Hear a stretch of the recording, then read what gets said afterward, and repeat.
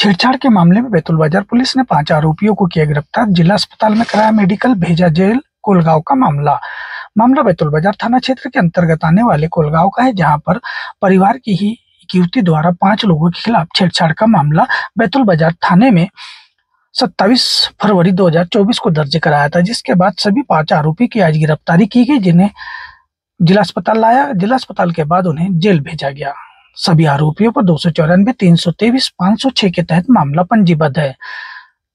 आरोपियों के द्वारा मिली जानकारी के अनुसार उन्हें इस केस में झूठा फंसाया गया, जिसकी जानकारी उन्होंने दी और यह भी बताया कि यह पारिवारिक मामला है रास्ते को लेकर विवाद हुआ था, जो कि आठ साल पहले से चल रहा था और कोर्ट में इसका निराकरण भी हुआ था और पिछले साल विभाग द्वारा तहसीलदार एसडीएम की निगरानी में रास्ते को साफ़ भी किया गया था, लेकिन उसके बाद फिर 27 तारीख को जबरन मारपीट की गई और मामला थाने में दर्ज झूठा कराया गया जिसमें सभी आरोपियों पर दो सौ चौरानवे तीन सौ तेईस पाँच सौ छह के तहत मामला पंजीबद्ध किया गया। फ़िलहाल सभी आरोपी की गिरफ्तारी के बाद जिला अस्पताल में मेडिकल कराने के पश्चात सभी को देर शाम जेल भेज दिया गया।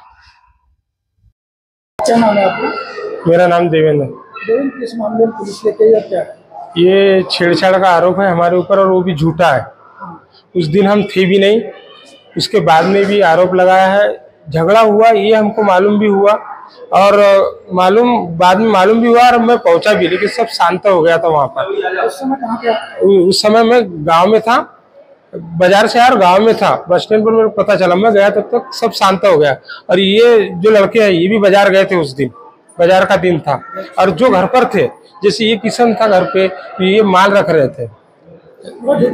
ये पूरा झूठा आरोप है। उसके बाद में भी पुलिस वालों ने भी हमारी नहीं सुनी। ना ही मजिस्ट्रेट ने सुनी।